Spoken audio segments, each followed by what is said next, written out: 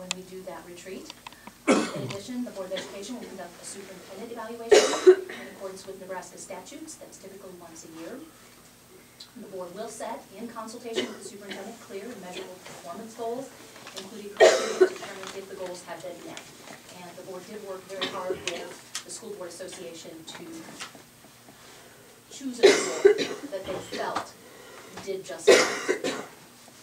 Student staff accomplishments, they did do that, they are included as well. With regards to school improvement, we have a staff in-service, uh, no school for students, PK twelve, on January twenty-second. Um, we are very excited to attend Walter Bond, the Rise Up to It presentation in Norfolk. I have to give kudos to the service unit on that. Uh, Bill Mowinkle and his staff organize and facilitate that event so that schools don't have such a high dollar fee for attendance. It's very, very reasonable since we have so many schools collaborating. They will have twelve hundred people in attendance at the Johnny Carson Theater. And he was a previous NBA player with a very inspiring midwinter motivational message. Uh, They will have breakout sessions, again, uh, the service unit has worked really hard, both one and eight, with Norfolk Public Schools to develop some breakout sessions for our teachers after the presentation. Uh, We are also uh, very concerned about our curriculum work, since that is due to AdvancED this spring. Mr. Mechke and Mr. Loof will be working very hard with the service unit to complete those uh, reports, the narratives for those reports, to make sure we are in compliance there. Our teachers will be working very hard that day also on C4L tests, which are tests they develop free through the Department of Ed for their students to take to determine whether or not they are going to meet those NeSA benchmarks. Um, On January twenty-eighth, we'll have a 1:30 dismissal. Grade 7, 12 will have student mentoring that day. Uh, I have a group, I'm not sure how my group was assigned, but I have all girls, all young ladies in my group. Uh, Every teacher on staff has their own group that we're taking grade seven to graduation. So they meet with us on those early dismissal days. Uh, We're hoping for a bonding, bonding experience. It's one of our advanced ed indicators um, that we have, every student have some kind of significant connection with an adult in their educational environment. We also have our professional learning communities meeting that day, and that's to address the advanced ed indicator listed there, three point five. Um, and we have a special learners group, an assessments and accountability group, vision goals group. The overall group facilitated by Mr. Loof and myself is the CIP steering team. If you have not visited the NBA State of the Schools report yet, I would encourage you to um, navigate it when you have a minute here or there, and write down, jot down any questions you might have with regards to the demographic, perceptual uh, assessments, any kinds of that information that you see on there that you might have a question about, I'd be happy to answer for you. Strategic planning, um, that is on the agenda to choose a date. I've listed those dates there, but since it's on the agenda, we'll deal with that then. Um, There's just a review, preview of assessment topics um, that we're going to be dealing with. Budget finance, um, testing, school improvement, technology. Uh, We'll visit with students during lunch, our facility strengths and weaknesses.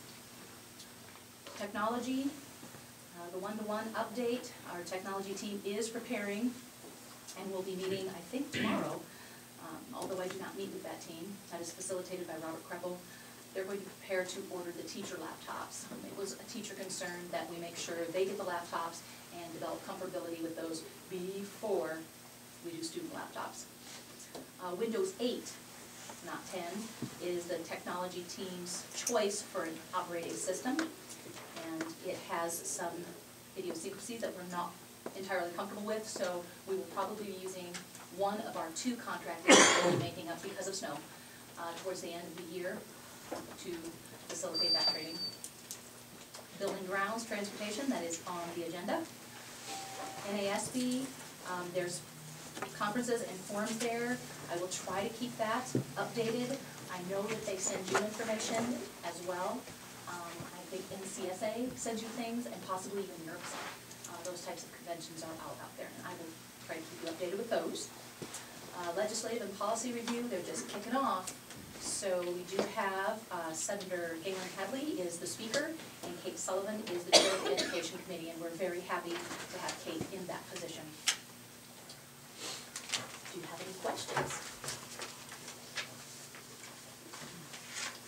Any questions for the superintendent? All right, item C, board members. Uh, no reports? Okay, new business. Fourteen A, discussion action on appointment of school district attorney, treasurer, and auditor.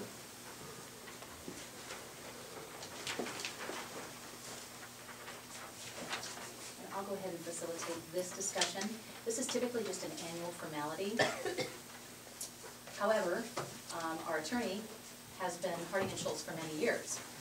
And Kelly Baker announced his retirement in May. Very soon after that, we received notification from Karen, Steve, and Bobby that they would no longer be with the Harding and Shultz firm. And those are the only four lawyers that have dealt with our school business. They have formed their own law firm now, devoted to school law. And it's called KSB Law.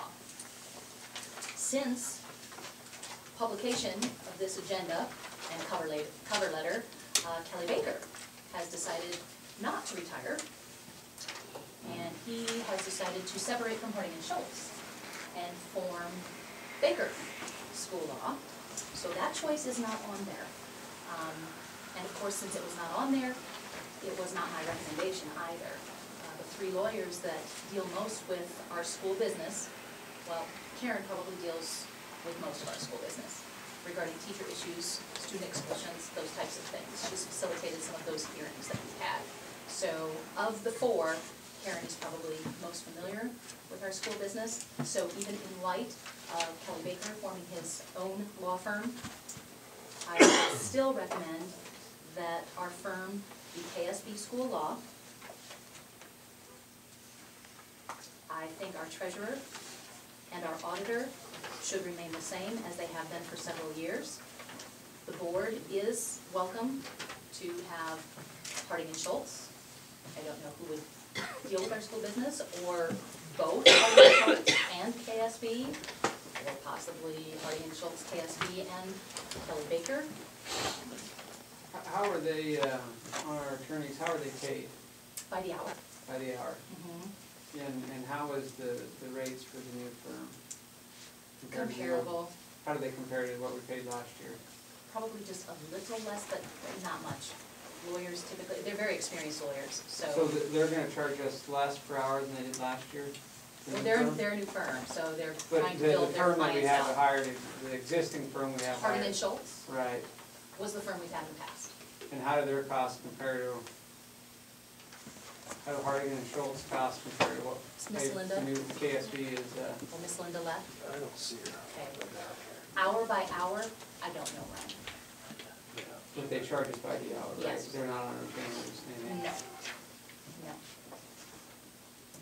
Well, I would be interested to see what the price difference is between, you know, what we paid last year and what we're paying this year before. Can't go by years, by hours. I mean, we, depending on if we have two explosions. We're right, if they, if they charge you ten dollars an hour, right? I mean, I'm, I mean, they don't charge us ten dollars an hour, but they charge us an hourly fee, and we should know what that is, correct? Sometimes it's also dependent upon what they have to do. What kind of background information they need to locate, and what other sources they have to access, mileage fees, if they have to travel here. So then it sounds like we probably should have a little more information before we take action on this. I would agree with that. When does our current, uh, agreement, at the end of the year, does it run out? Or when, when are we, uh, Now, it ended in December?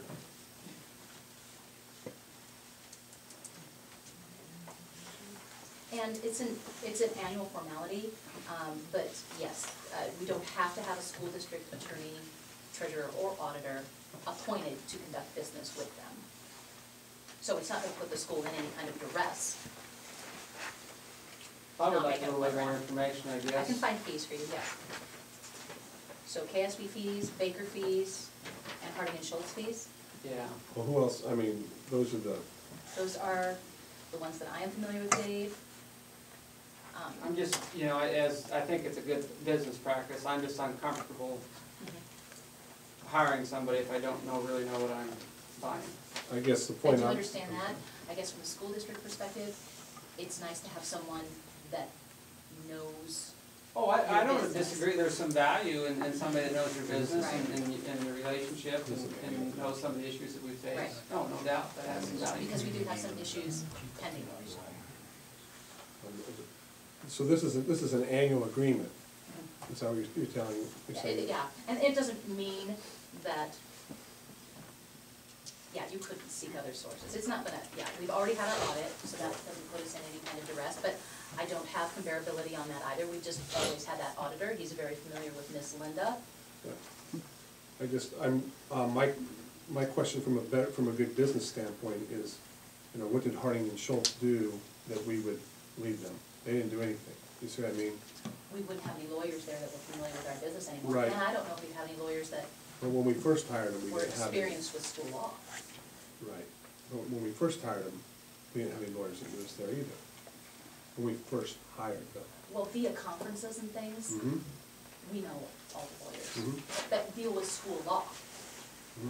And the only other So are you law firm suggesting, that I know is Perry Law are Firm. you suggesting that Harding and Shultz does not have any more school attorneys? I don't know of another school attorney that Harding and Shultz has other than those four, Well, then let's, let's find that out, okay? you know, let's find that out, find out what the rates are. Or can, can I throw in any? Uh, Sure. As far as, it, in the fifteen years that I've been here, uh, Karen Hosty, who was an employee of Harding and Shultz, has been our go-to person, whether it be with Mr. Morgan, Mr. Brandel, Mrs. Lingenfelter, whether it be teacher-related, whether it be student-related, she, she was our go-to person, even if it was just to call and ask a question. And the reason they're leaving where they left is because the guy that they worked for chose to retire and then changed his mind. But, uh, the name on the law firm is irrelevant in my mind, it's the person that we trust and work with. But I just wanted to throw that out there. Thank you, George. Um, I guess I would still suggest that you gather some information, we put this on next month's agenda, and we can talk about it a little bit at the retreat, whatever, you know, whatever information you've gathered for us. So you're tabling just the lawyers, or you ta- tabling the auditors also? Well, how about just the lawyer? I guess I should enter, well, we, we're not taking an action, right? It's Unless- Discussion unless slash we're- action. Unless we're gonna do, unless we're to need motion for our auditors. And those, that's a yearly contract also, or yearly agreement, then I would suggest that we probably proceed with the discussion on treasurer's and.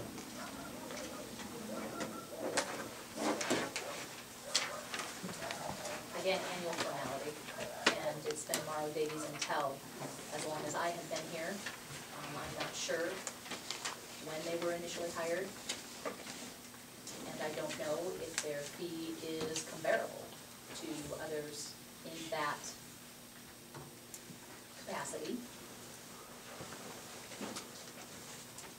But they are very familiar, like I said, with the school business, is who the school has always elected to go with. Um, And the same with Deb Brandstitter, she has been our treasurer since I have been here. And I don't know who else we may appoint in that position.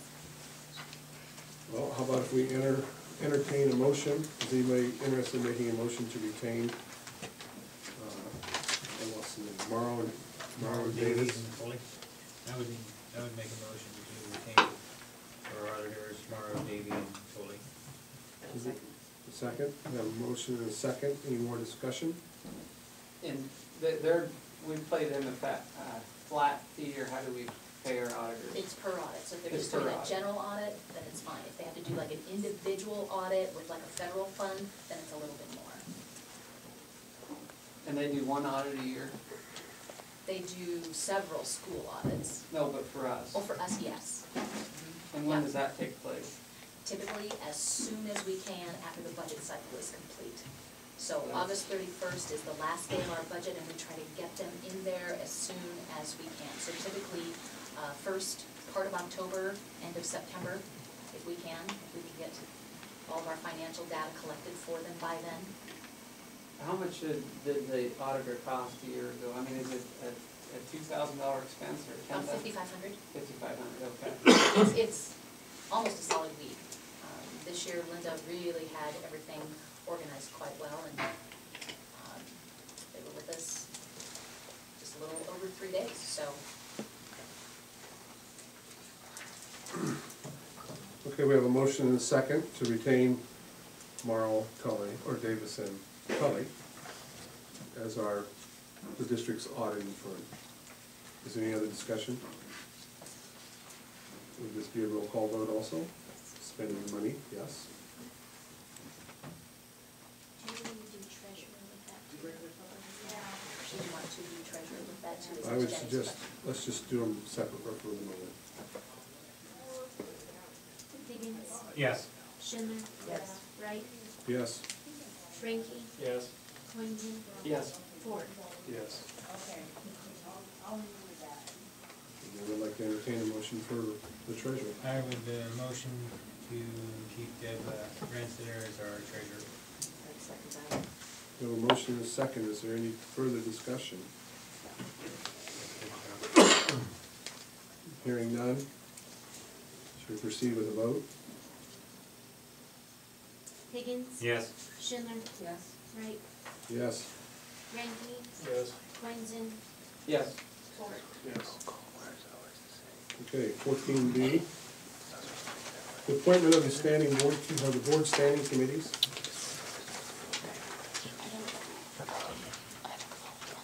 In your packet, there's a, a list of the board committees.